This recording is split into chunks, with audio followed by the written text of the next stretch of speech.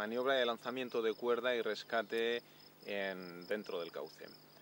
En un primer caso vamos a ver ahora cómo una víctima colaborante es rescatada eh, por un rescatador que lanza la cuerda de rescate desde la orilla.